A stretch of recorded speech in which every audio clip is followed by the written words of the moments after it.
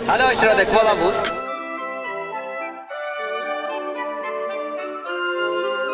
Tak. Halo?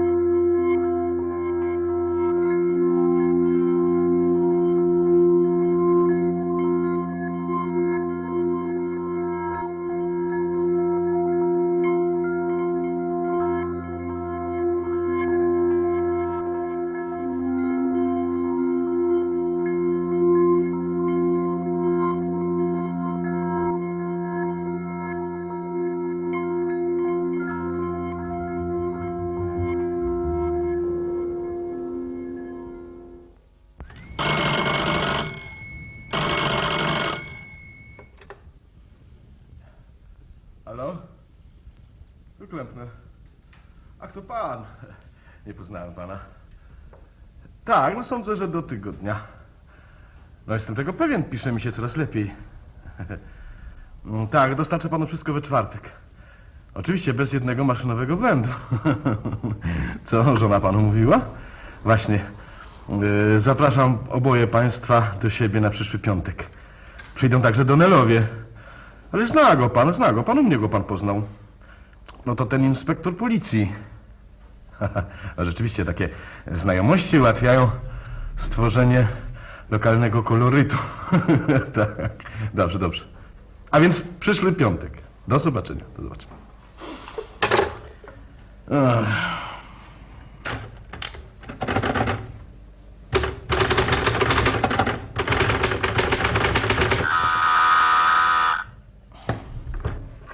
Kogoż tam znowu diabli nadali?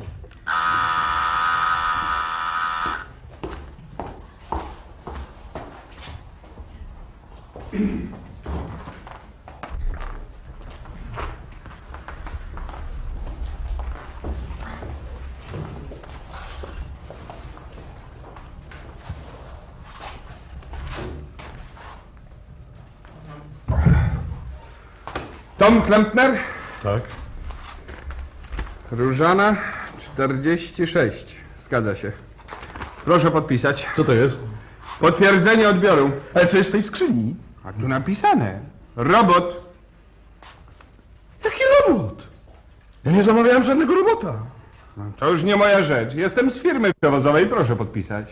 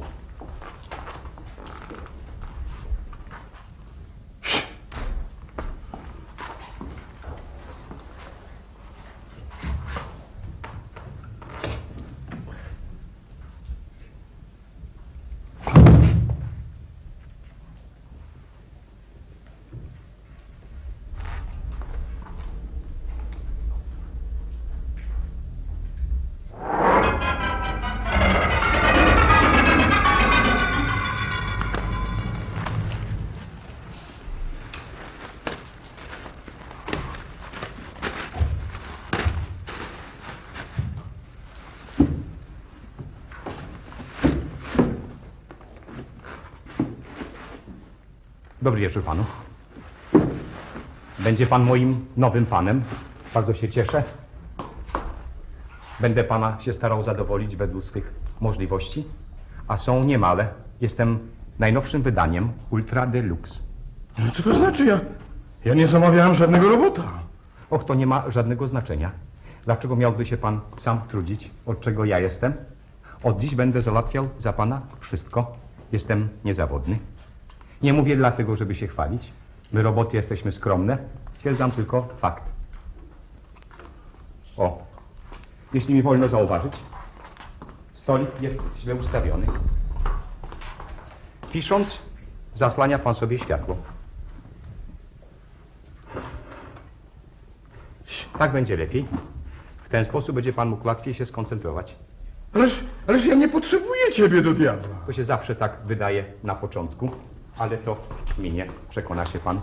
Czy pan dobrze śpi? Nie, kto cię tu przysłał? Och, cierpi pan na bezsenność? Doskonale, Jak to doskonale. bo to się teraz zmieni.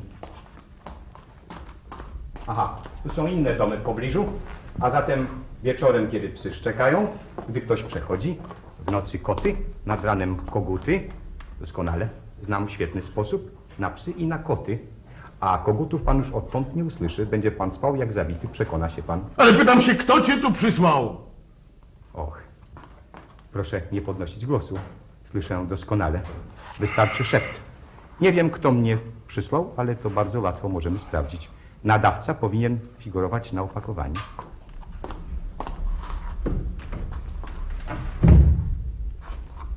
A naturalnie. Dravenport. Biuro Pośrednictwa i Wynajmu Służby Domowej 38 32 48.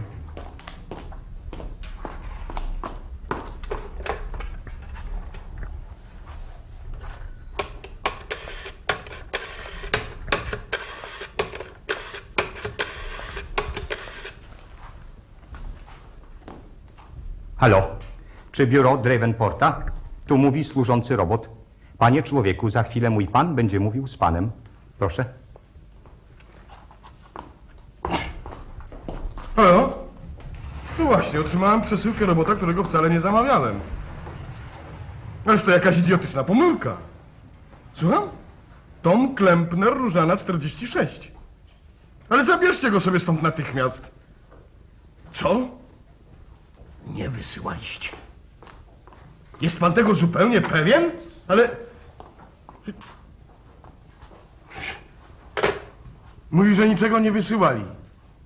No i co teraz będzie? No? Będzie jak najlepiej, proszę pana. Y, Zapewne życzy pan sobie być sam, żeby nikt nie przeszkadzał w pracy twórczej. tak, do diabła, tak. Tak, świetnie, doskonale. Y, Będzie pan sam, jest pan sam. W pewnym sensie mnie tu w ogóle nie ma wcale. Oprócz pana nie ma żadnego człowieka, a więc nie ma nikogo. Jeszcze tylko kilka drobnych szczegółów. Czy pan ma robota? Nie, nie. I nie potrzebuję żadnego. Świetnie, bo ja też sam nie cierpię robotów, lubię tylko ludzi. Dlatego tak się cieszę, że pan będzie moim panem. Czuję, jak zaczynam otaczać pana czcią i szacunkiem. Czy pan jada w domu? Nie, nie, nie, nie. Przestań tylko tyle mówić, przestań tyle mówić. Ja muszę się zastanowić, co ja mam z tobą zrobić. Od tego ja jestem, proszę pana, od wszystkiego. Pozwolę sobie zauważyć, że od dziś będzie pan jadał w domu. Jedzenie w restauracjach jest bardzo szkodliwe, psuje żołądek. Znam różne kuchnie.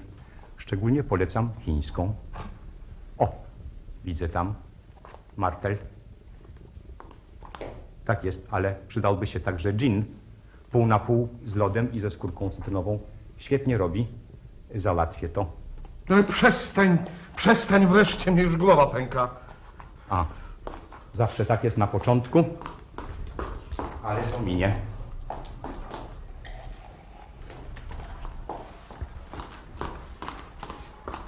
Proszę przyjąć. Co to jest? Proszę, kod bólu głowy. Ale ja... Proszę. A, a,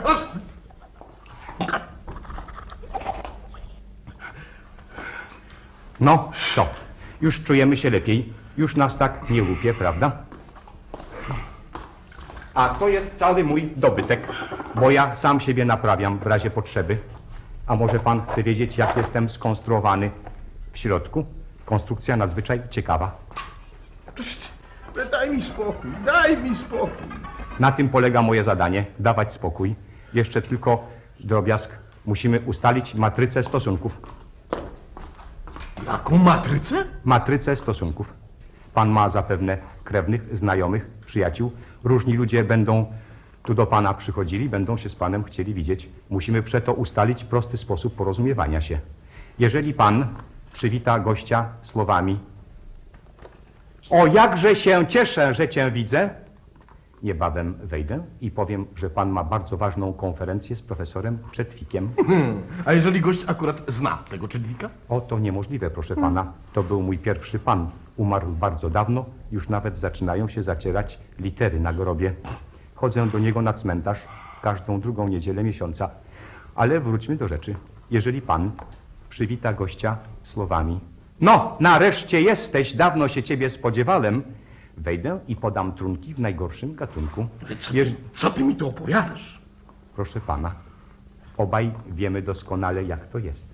Panowie tylko dla fałszywego wstydu nie chcą się do tego przyznać. W każdym domu istnieją poczęstunki dla gości pierwszej klasy, dla gości drugiej klasy oraz takie, którymi się w ogóle nikogo nie częstuje. O, na przykład tam zauważyłem plaską flaszkę ukrytą. Jest to prawdopodobnie 70-letni koniak e, Saliniak. Pan ją schował bardzo dobrze i tak właśnie powinno być. Ale widzę, że pan jest zmęczony.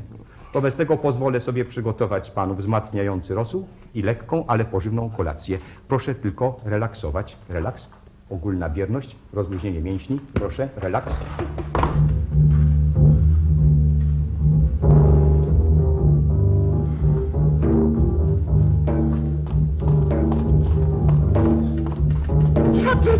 No. Za chwilę wszystko będzie gotowe. Jeszcze tylko jeden szczegół bardzo ważny, tyczący kobiet. Co? Proszę się nie niepokoić. Posiadam specjalnie w tym celu wbudowane trzy obwody.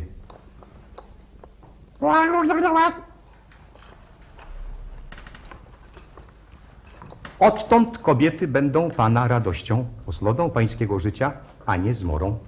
Żadnej, której nie zechce pan widzieć, nie przepuszczę za próg.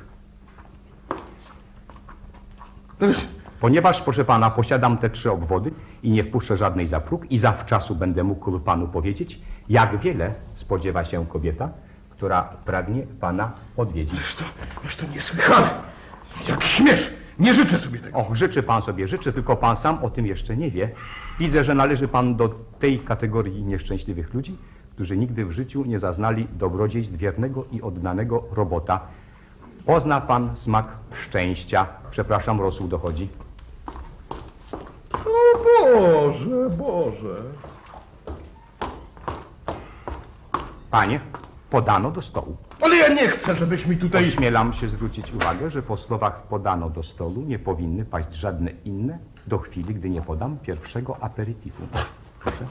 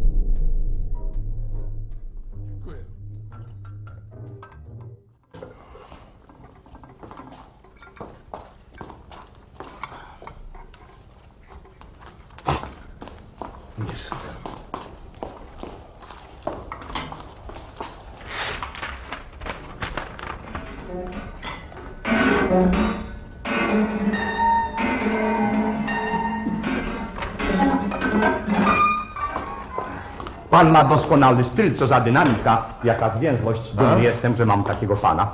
Ośmielam się tylko zauważyć, że zbrodniarz w drugim rozdziale nie powinien używać cjanku potasu. Cjanek potasu już wychodzi z mody, jest zbyt ograny. Tak myślisz? To ty się i na tym znasz? Mój trzeci z kolei pan był toksykologiem i niezwykłym, ale zbieraczem. Zbierał trucizny, jak inni zbierają motyle, biedak. Dlaczego biedak? Co mu się stało? Pomylił się. Brał zawsze trzy łyżeczki cukru do kawy. Oczywiście nie zdarzyłoby to się, e, akurat wypadła niedziela, w którą chodzę na cmentarz. Kiedy wróciłem, było już po wszystkim. Pomylił się biedak. Zamiast y, osłodzić kawę cukrem, wsypał do kawy trzy łyżeczki trutki na szczury. On zwykłą trutką na szczury. Chodzę teraz do niego na cmentarz każdą drugą niedzielę miesiąca. Bardzo ładny grób z widokiem na rzekę. Sam go wybierałem. Ale wróćmy do rzeczy. Ośmielam się doradzić panu akonitynę. Jest to y, trucizna skuteczna i efektowna. Wystarczy 20 kropel. A koityna mówisz? A wiesz, może być. Ja już myślałem o tym nieraz.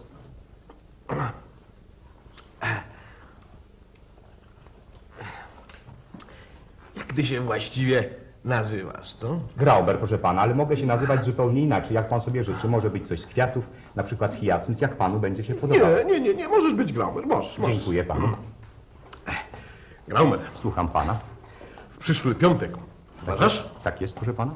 Urządzam takie małe przyjęcie dla czterech osób, dwa jest. małżeństwa. Tak jest. Nie wiem tylko, czy, czy żeby był zimny bufet, czy może podać ciepłą kolację. Będą to zapewne goście pierwszej klasy. No, rozumie się, mój wydawca i, i Donner. Obaj z żonami. Donnell, inspektor policji. Tak. A jest co? pana przyjacielem, to doskonale. Y, Radziłbym na początek coś cieplego, a potem pewnego rodzaju zimną suitę gastronomiczną. Proszę mi to zostawić, nie zawiodę zaufania. Smakowało panu.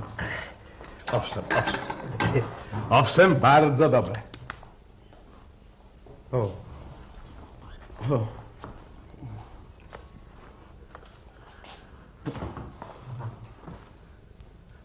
Przepraszam. Dziękuję, pomału pan się nauczy.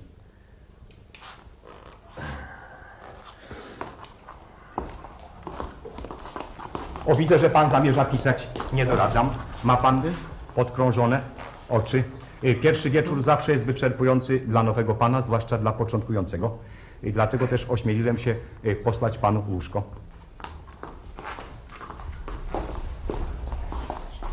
Zaświecimy małe światełko. Tak, proszę jedną nogawkę. Proszę drugą nogawkę. A teraz robot opowie panu kilka usypiających historyjek. Pewnego razu, bardzo dawno temu, kiedy było, nie było jeszcze elektryczności, za górami żył sobie pewien gruby pan, który miał parowego robota. Parowy robot rano chodził do lasu po chrust i po grzybki. Pewnego razu w lesie zjawił się zły monter z obcęgami. Stanął za drzewem i kiedy robot zbliżył się do niego, powiedział Sierota jestem, nie mam nikogo na świecie, tylko te parę obcęgów. Ślicznie, śpi jak dziecko i nawet obyło się bez sznura.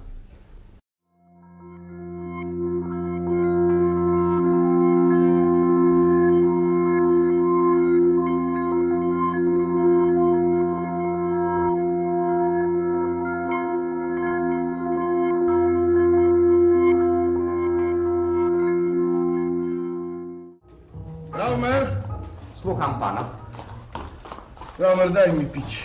Czy to co zwykle? Tak. Dzwonił człowiek Higgins.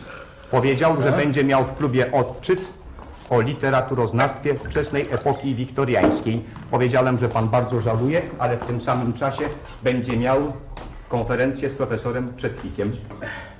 Dobrze.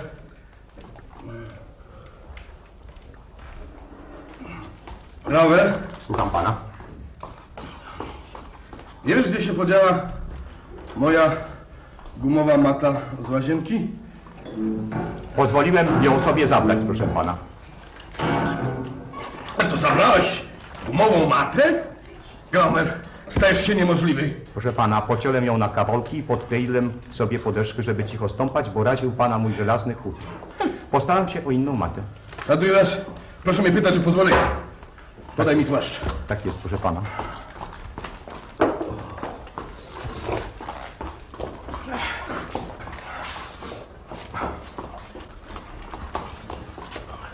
Mam nadzieję, że wróci pan w lepszej formie niż wczoraj.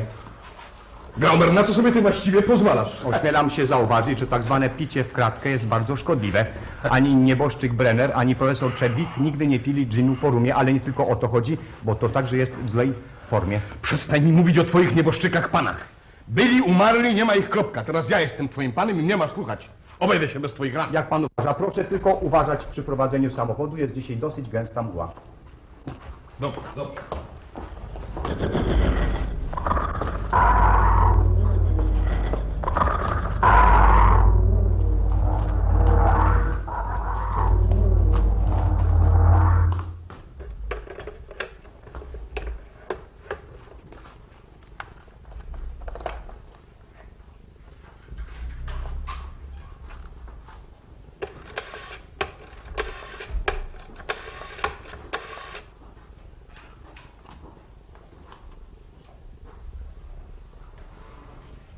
Halo? Y, Chciałbym mówić z profesorem Greinfusem. Tak jest. Y, Mówi doktor Limb. Szanowanie, panie profesorze. Y, Ach, tak, oczywiście. Pan mnie nie zna, bo wróciłem dopiero z Europy. Y, Proszę pana, właśnie chciałem się zwrócić do pana jako do kolegi. Tak, przeprowadzałem doświadczenia, pańską metodą oczywiście i natrafiłem na pewne trudności. Tak, mm, chodzi o to, czy nie mógłby mnie kolega powiedzieć, y, w jakim składzie używa pan odczynników? Aha, dwuprocentowy, y, tak. A y, jeszcze chwileczkę, a co robić, żeby się nie ścięło? Aha, rozumiem. Dziękuję.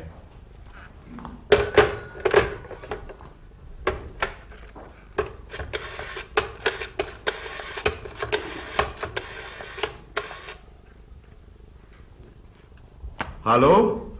Czy to firma farmaceutyczna Tropkins? Mówi Klempner z ulicy Różanej. Tak, tak. To, co zamówiłem wczoraj, dostałem już, ale chodzi o nowe zamówienie. Potrzebuję 10 litrów roztworu fizjologicznego i 1 kg fosforu. Ale ten fosfor musi być absolutnie czysty. Chemicznie czysty. Co? Dobrze. Proszę mi to przysłać jutro rano. No możliwie wcześniej. Mój robot odbierze wszystko. Co? Tak jak poprzednio. Proszę zapisać to na mój rachunek.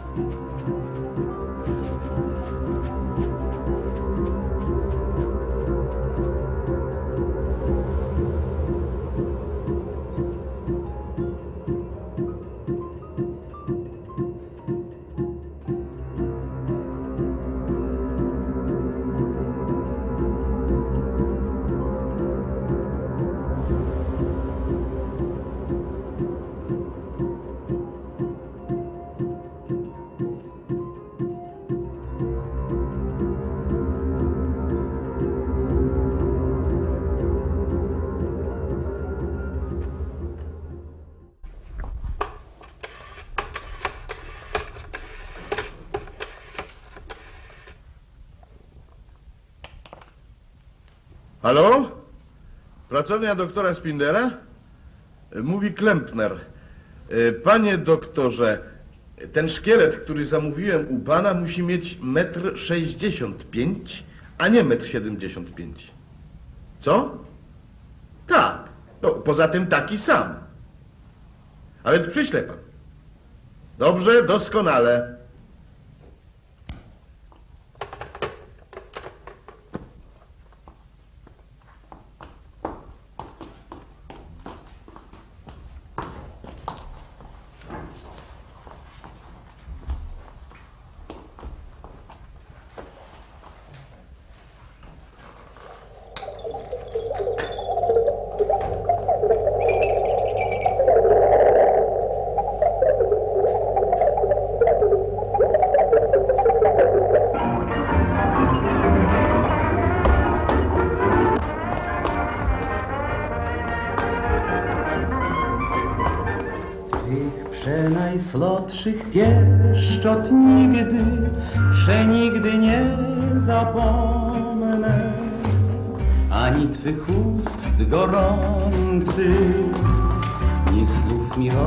Miłością tchnący.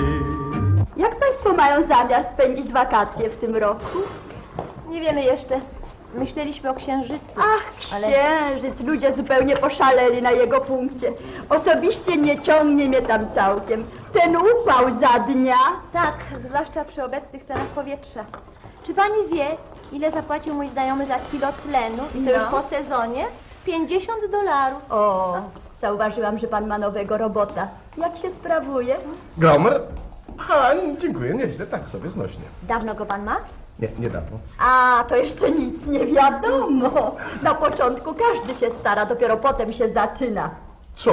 No to co zawsze ze służbą opuszczają się w pracy. Zamiast ścierać kurze, otwierają okna na oścież i robią dzikie przeciągi. Przeciągi? Tak, żeby wywiało kurz. Im przeciągi przecież nie szkodzą, a człowiek potem dostaje reumatyzmu. Oj, dawniej to byli prawdziwi służący. Babka mi o tym opowiadała. Miała żywą pokojówkę, proszę sobie wyobrazić. No, automaty mają swoje dobre strony. Ciekawa mi jakie. Nie, no, moja kochana. Przecież taki żywy służący nieraz myszkował śpiżarni. Spijał wino, robił plotki. Tak. Powiedziałby ktoś, żeś ty widział kiedyś żywego służącego. A czy żywy służący kradł elektryczność na rachunek pana? Albo chodziłby w czasie burzy po dachu? O, Po dachu? A w jakim celu nie słyszałem o tym? Nie słyszał pan o tym? Naprawdę? To są tak zwani piorunatycy. Tak jak lunatyków przyciąga księżyc, tak ich ciągnie do piorunów i błyskawic. Co nie słyszę nieprawdopodobnej. Nie ma na to rady? No mój Graumer nie jest piorunatykiem, byłbym to chyba zauważył. Ale to jest chyba nieszkodliwe, No prawda? nie, proszę pana, jak się taki naściąga na lyka tych piorunów, to potem wszystko przepala mu się w głowie. To znaczy w tym mózgu elektronowym i powstaje kompletny pomylenie. Tak, tak, moja znajoma, żona reżysera Spinglera miała właśnie takiego. Nie, no moja droga, nie możesz tego być znowuż taka pewna. Był po prostu stary, rozstrojony. Kupili go z czwartej ręki. No więc dobrze, dobrze, może nie był piorunatykiem, ale w każdym bądź razie nie wiedział sam, co robi. Kilka razy nakarmił kota złotymi rybkami, a w zupie były kulki. Jakie kulki? Stalowe, złożysk, bo się wprost rozlatywał. Mówiłam jej, żeby oddała go do generalnego remontu, ale ona nie, bo jej mąż był do niego bardzo przywiązany. A, wyjechali nad morze, a kiedy wrócili, to nie poznali swojego mieszkania. No. Wypastował ściany i okna, a brudną bieliznę całkiem rozgotował, rozlał do słoików i mówił, że to na zimę. To jest- Zaraz, a rachunek elektryczny zdębiała, jak go zobaczyła. To jeszcze nic. Czy pani wie, co zrobił robot mojej znajomej? Wziął stare ubranie jej męża, ponaszywał na nim lat i chodził żebrać. Ma. A na czyż mu były pieniądze? A, wstyd powiedzieć. No. Naprzeciwko u doktora Smithsona była nowa robocica. Taka nieduża, niebieska, O. oksydowana. Wydał wszystko na nią. Pisywali nawet do siebie. Żona doktora pokazywała mi te listy. Nazywał ją... Mary! No, no, ciekawe. przecież. Przepraszam, nie potrafię nawet powtórzyć. Nie rozumiem właściwie, co panie widzą w tym złego. Przecież taki robot, taki elektryczny mózg jest bardzo wrażliwy. Pożąda ciepła, uczuć, a tu nic, tylko cały dzień, a to zamieć, a to Właśnie. wymieć, a to nie Widzę, wpuszczaj, że a to mają w panu świetnego obrońcę. No, musi pani wiedzieć, że mój mąż jest członkiem miejscowego koła ligi do walki o elektryczne równouprawnienie. Ach, tak. No proszę. Ale przecież samiśmy ich powołali do życia. No, to jest, do istnienia chciałem powiedzieć. A jeżeli nawet mają jakieś błędy, to to jest nasza wina. Naszych inżynierów. Trzeba je lepiej obmyślać, doskonalić, konstruować, a nie oskarżać. Ależ proszę pana, w końcu nikt im nie robi nic złego. A odkąd mają ten swój związek? Związek? Nie można nawet robota zamknąć do piwnicy, kiedy narobi szkód, bo zaraz podnosi się krzyk, że to znęcanie się, że, że, że okrucieństwo. John, No, proszę. jak się nazywa ten związek? Związek Elektrycznej Służby Domowej. No proszę. A w ogóle, proszę państwa, mój mąż mógłby nie jedno powiedzieć na ten temat. I No. to wcale nie takie niewinne ploteczki. Czy państwo wiedzą, że istnieją przypadki łączenia się mózgów elektronowych w szajki? Och, co? Związane ze światem przestępczym? O, ale to chyba było dawno. Teraz już takie rzeczy się nie zdarzają, prawda, inspektorze? Tak, tak, to było dawniej. Wzięło się to stąd, że właściciel nie odpowiadał wtedy za sprzeczne z prawem czyny swego robota. No jest taki gangster. Sprawiał sobie robota, wchodził z nim w cichą zmowę. Robot dokonywał rabunków i włamań, a właściciel uchodził bezkarnie, twierdząc przed sądem, że nic o tym nie No wiedział. a jak jest teraz? Czy robot może stawać przed sądem? No. Może, ale zawsze znajdzie się jakiś kruczek. Przestępcy nie tak łatwo dają za wygraną. Ja miałem podobną sprawę. Niejaki Globkin miał robota, więc przebierał go za człowieka i wysyłał do kin na nocne seanse, żeby okradał samotne kobiety. Przylapano go na gorącym uczynku. I zgadnijcie Państwo, co wtedy zrobił? Sam siebie rozebrał. Rozebrał się na drobne kawałki. Został tylko stos lamp, cewek i drutów. Na stosu radiowych części nie można postawić w stan oskarżenia. Myślał, że się w ten sposób wymiga. I co, i co, udało mu się? No to nie takie proste. Tak? Sąd zarządził złożenie tego robota przez elektromontera sądowego w trybie przymusowym. Ale ponieważ był rozebrany na kawałki, więc utracił pamięć czynu. Tak przynajmniej twierdziła obrona. A ciekaw jestem, jak się to skończyło? Wcale się nie skończyła, sprawa jest w wyższej instancji. O, Tak. No ale przypuszczam, że ten robot wykręci się siadą. No raczej drutem. Ma pan rację, raczej drutem. Kiedy Państwu to opowiadałem, przypomniała mi się inna historia. O wiele ciekawsza, tylko nie wiem, czy mam prawo ją Państwu powiedzieć, bo śledztwo nie jest jeszcze zamknięte. panie inspektorze, ma pan do czynienia z ludźmi dyskretnymi? Ja nie wiem jak Klempner, ale podobnie zobowiązuje się milczeć. No powiedz już. Dobrze, Mary, zaryzykuję. Tylko nie będę wymieniał żadnych nazw.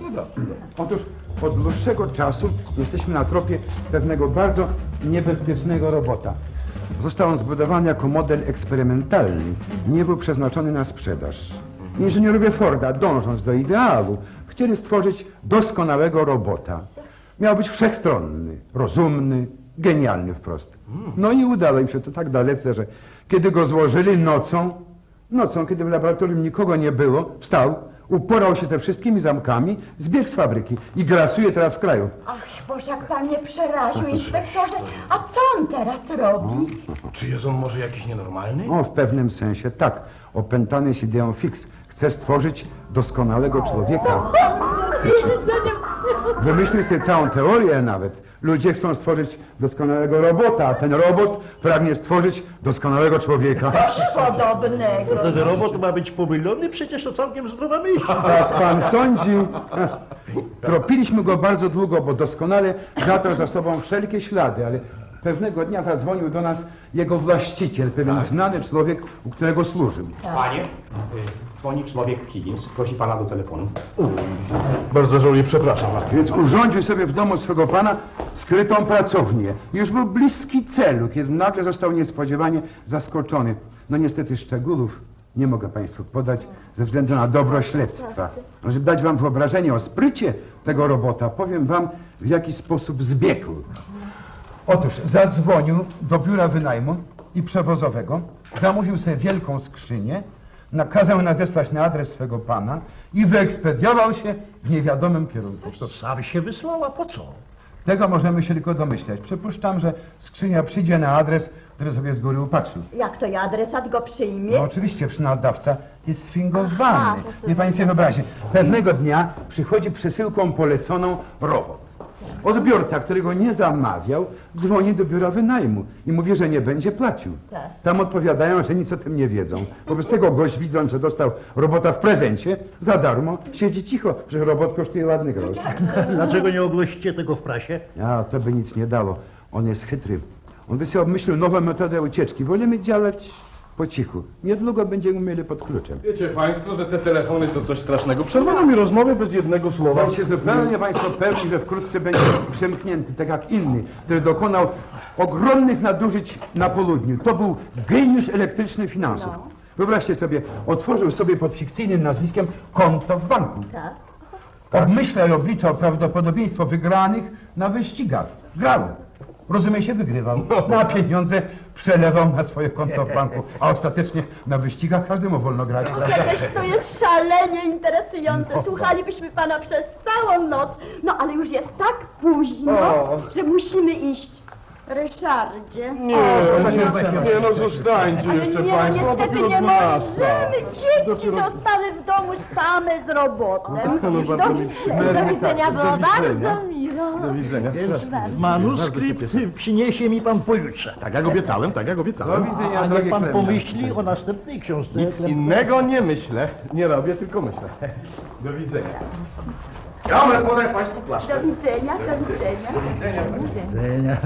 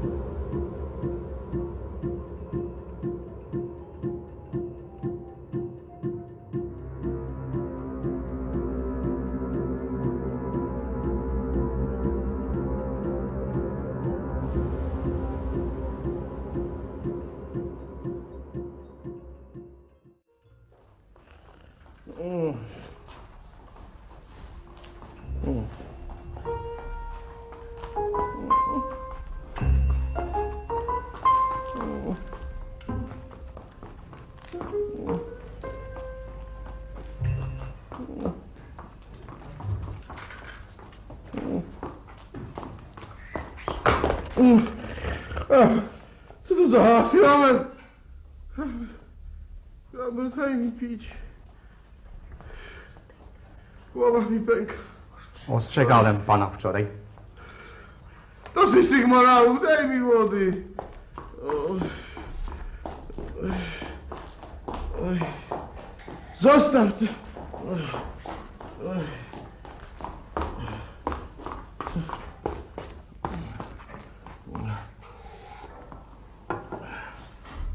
Co to jest? Poranna poczta, proszę pana. Ładna poczta. Same rachunki. 7 kilo oczyszczonego węgla, fosforu, siarka. Kramer, co to znaczy? Słucham pana. 10 litrów roztworu fizjologicznego? Kramer, Słucham pana. za co te rachunki? Czemu nic nie mówisz? Proszę pana, to drobnostka, to takie moje małe hobby. W wolnych chwilach eksperymentuję. Proszę pana, zostało mi to od czasu, kiedy razem z profesorem dokonaliśmy odkrycia, za które profesor otrzymał Nagrodę Nobla. Obie eksperymenty, co ty sobie właściwie wyobrażasz? Bez pytania o pozwolenie. Ja mam płacić za twoje fanaberie, co? Każdy ma swoje jakieś drobne przyjemnostki, proszę pana. Dosyć. Podaj mi szlafrok.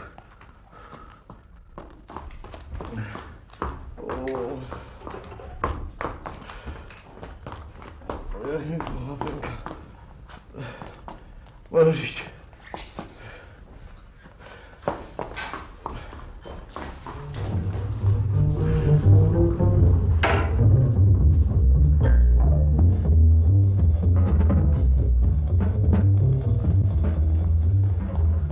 Graumer! Słucham pana. Graumer, gdzie jest moja koszula? Niebieskie paski. W praniu, proszę pana. Jak to w praniu? Przecież jej w ogóle nie nosiłem. Mojego brązowego krawata też nie ma. Niech pan założy szary w zielony rzucik. Przestań mi doradzać, co ja mam nosić. Co z tą koszulą? Była na niej plamka. O, Plamka, plamka. Jaka plamka? Żadnej plamki nie zauważyłem. Która godzina? O, już dwunasta. O pierwszej miałem dać plan powieści nowej Gordonowi. Roman, Słucham pana. Roman, muszę natychmiast złożyć konspekt nowej powieści. Rozmawialiśmy o tym, ty pamiętasz, jak to tam było? Powiedz, no. mówił pan, że pewien młody człowiek morduje swoją bogatą ciotkę, żeby odziedziczyć po niej majątek. Tak, tak, tak, właśnie, właśnie. Czekaj, czekaj, czekaj, czekaj, to było tak. A więc tak. Bogata ciotka, robot, który to widział. No tak, ale morderca musi usunąć robota, który jest dla niego niebezpieczny, prawda? Graumer, Jak najlepiej zgładzić robota? Ty się na tym najlepiej znasz, co? Proszę pana, zgładzić robota to No. bardzo trudna sprawa. Proszę pana, radziłbym zaplanować akcję zupełnie inaczej. Pewien robot ma bardzo niedobrego pana. Robot wysila się jak może, ale wszystko daremne. Niedobry człowiek prześladuje go stale.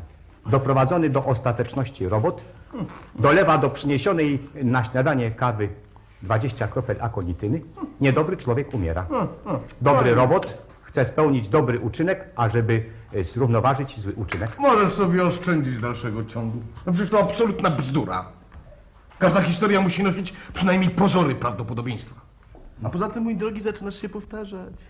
Akonityna, akonityna. Akonityna była już w mojej poprzedniej powieści. A cóż, Sam mi ją doradziłeś zresztą. cóż to szkodzi, proszę pana? To bardzo dobra trucizna. Nie, nie, nie, nie. Obejdę się bez twojej rad. Możesz iść.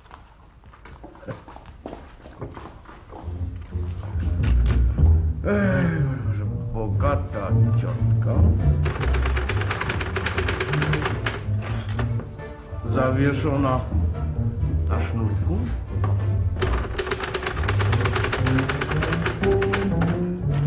Robot, który to widział. I trzy plamki krwi.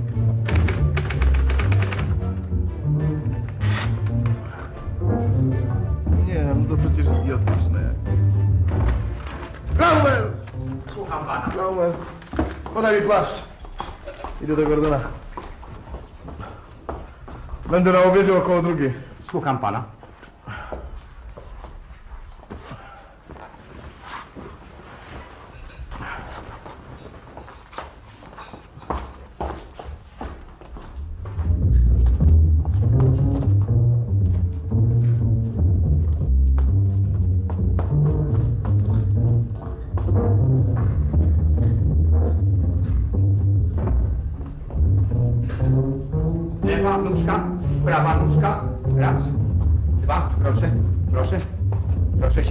Trzymam pana.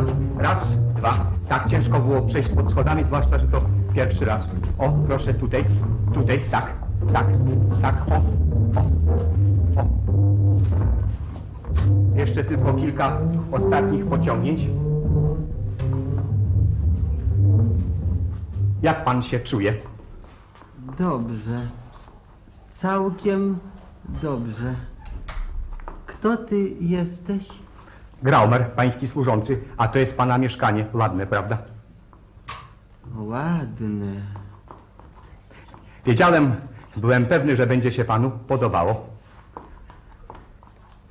Zauważył pan, że mógł pan przejść pod schodami, wcale się nie schylając? Zauważyłem. Tak, gdyby pan był wyższy, mógłby pan łatwo przez zapomnienie nabić sobie guza.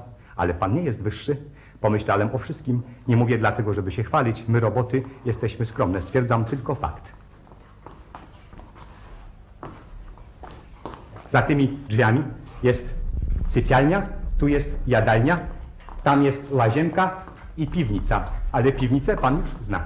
To tam na dole, gdzie te naczynia i rurki. Tak jest, proszę pana, ale proszę o tym zapomnieć. Czy pan by coś zjadł? Nie. Tak, na czczo niedobrze. Zrobię panu mały koktajl.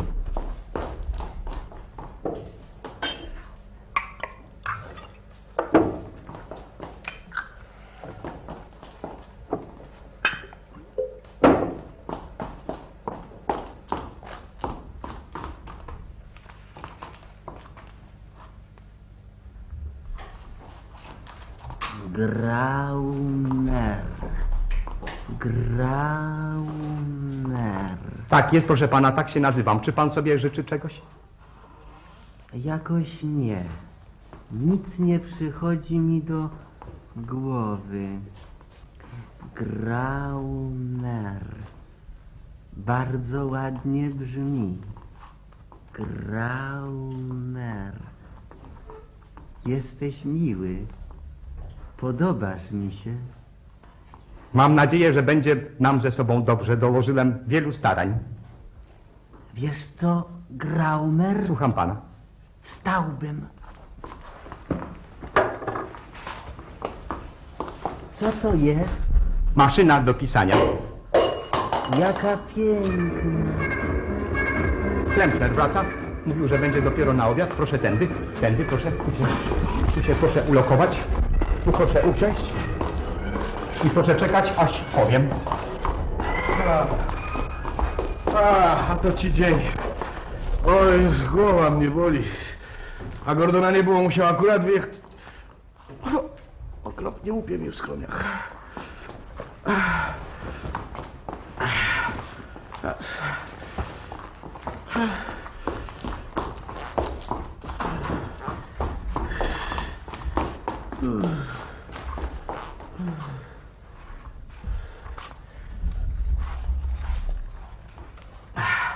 ty tam robisz? Przyrządzam panu lekki napój. Czy nikt nie dzwonił? Nie proszę pana, Nikogo nie było? nie proszę pana. Nie, nie chce mi się pić, raczej zjadłem coś. Radzę najpierw wypić. E, Kiedy głowa mnie boli. E, Proszę wypić, to przejdzie. No, jeżeli jesteś tego pewien.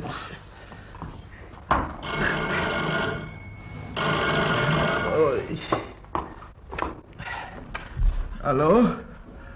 No tak, jestem przy telefonie. Donner, dzień dobry. Aha, dzień, do... dzień dobry. Prawdę mówiąc, nie spodziewałem się, że pana zastanę. Miał pan być u Gordona. Byłem u niego, ale go nie zastałem. O co chodzi, Nic inspektorze? Słucham. wielkiego, kwestia rutyny. Czy mógłby pan powiedzieć, jaki numer ma pański robot? No, numer, numer co za numer? Jaki numer? Pański robot. Numer? Kolejny numer produkcji. A. Tak? Mój, mój, ro- nie, a, a, a co, czego pan tam interesuje? Czego? Klemner w ścisłym zaufaniu. No, słucham. Numery wszystkich robotów. Aha. Wydane, że on jest w mieście. O kim pan mówi? Jak to? No o tym robocie, o którym opowiadałem wtedy u pana. Nie pamięta pan? Nie, nie, a jaki numer ma ten robot? Ustaliliśmy to dopiero dzisiaj. 47 11. Tak, a, a poszukujecie go? Zrobił coś złego może? Jeszcze nie, ale może zrobić. O, no dobrze, niech pan poczeka. Przy aparacie ja zaraz sprawdzę. Dobrze, dobrze, inspektorze. Glaumer. Glaumer. Chodź tu. Chodź tu.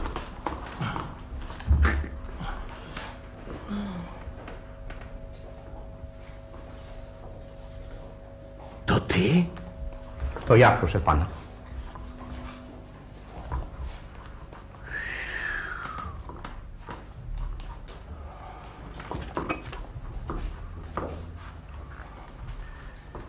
Halo, inspektorze? Tak? Mój robot ma numer... 126. 26. W porządku, w porządku, Klemner. Przepraszam pana bardzo. Ja wiedziałem, że to niemożliwe, ale pan rozumie, jak to jest w naszym fachu. Rozumiem, Kiedy rozumiem. sprawdzamy coś, robimy to gruntownie. Ach, nie ma o czym mówić, inspektorze. Do zobaczenia, do zobaczenia, do widzenia. No, no co ty znowu wyprawiasz, Graum? Tam był włos, proszę pana. Aha.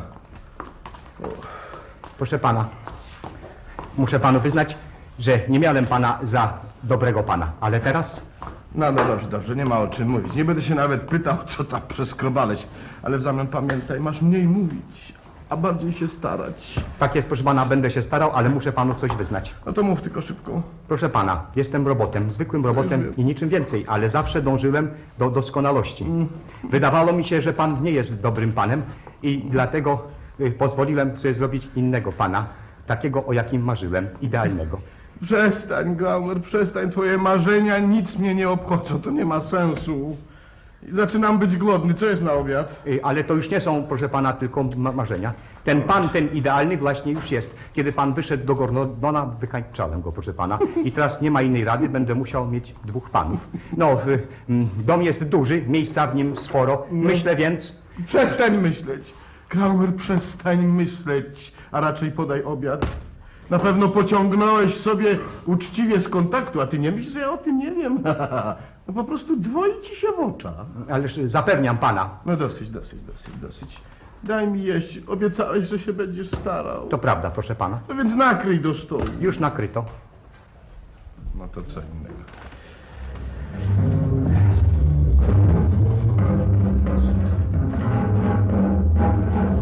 A, a przepraszam.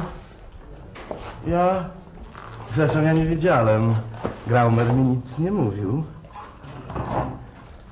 Graumer! Słucham pana. Podaj drugie nakrycie.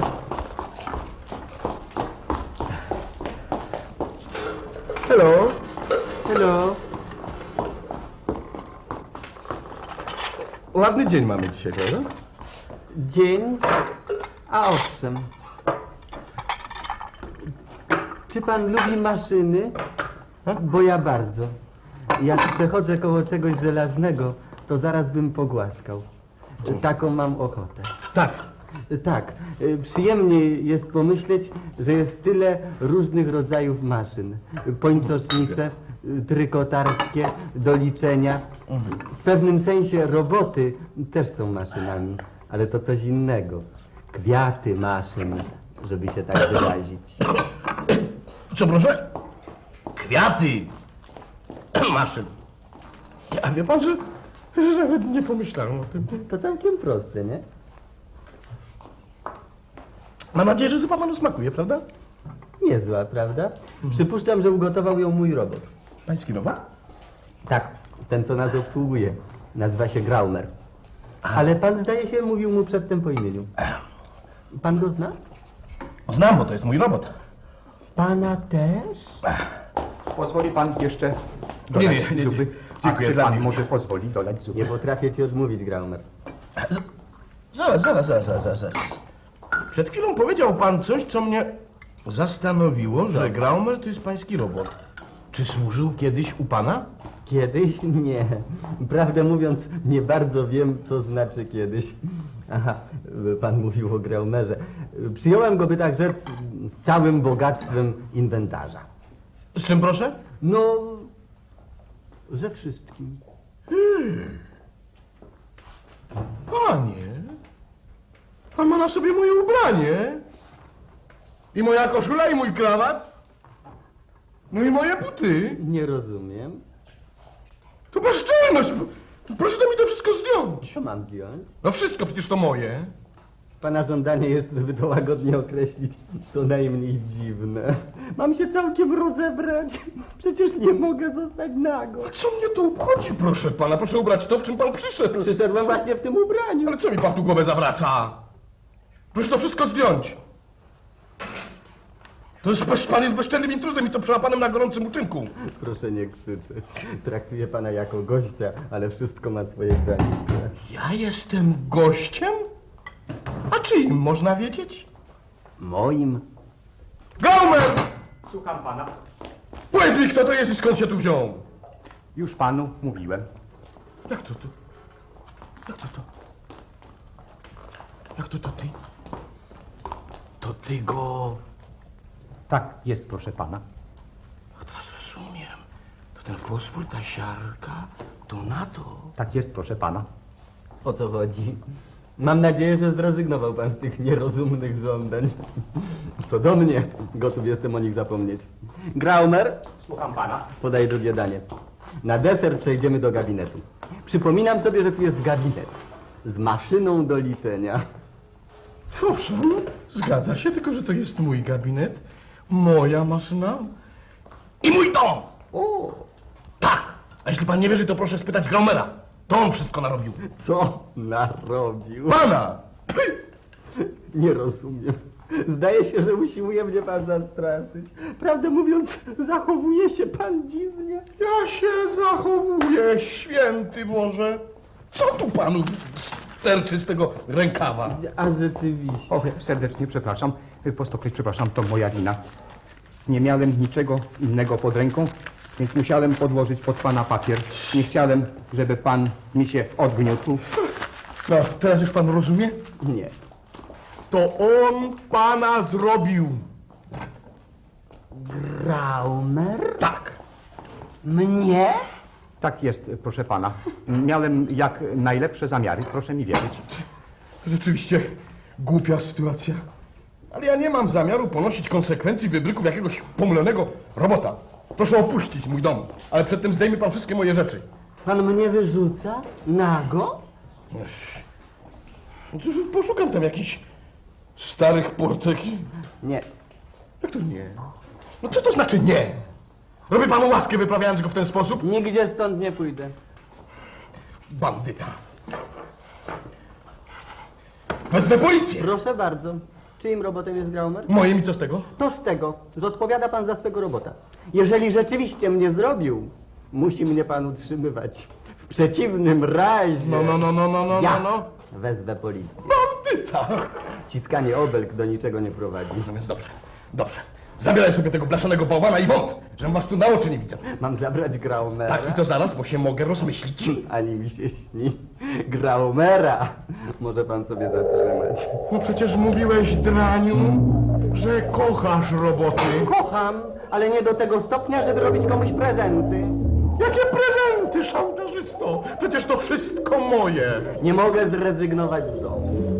Bandyta. Powiedzmy z połowy domu. Prędzej zgnoję cię w więzieniu. Albo ja ciebie. Zabieraj sobie tę blaszaną pokrakę i wąt. Ty sam won. Chcesz dostać po mordzie? Uważaj, żebyś sam nie oberwał. Przecież to jest mój dom, Uważaj, żebyś sam nie oberwał po To jest wszystko moje. Coś Coś nie słuchaj. Halo, czy firma, fi- firma Humphrey? Proszę natychmiast przysłać opakowanie w celu wysyłki robota na Różaną 46.